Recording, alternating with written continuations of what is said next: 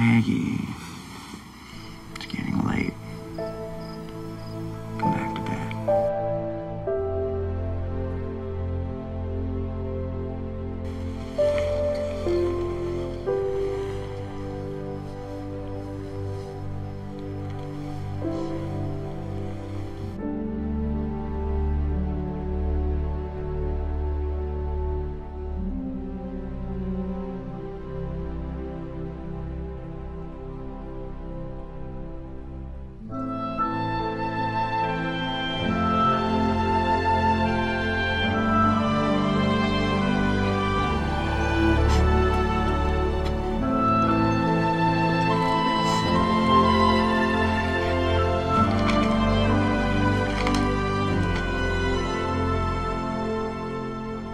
Want you to file for custody of Lily.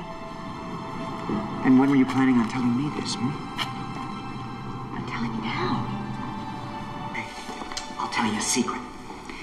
If your mom doesn't get her new appeal, then Grandma here's gonna bust her out of jail.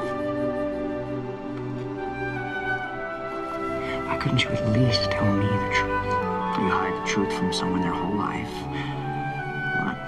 Expect them to give you a big hug, tell you you did the right thing? I'm still angry.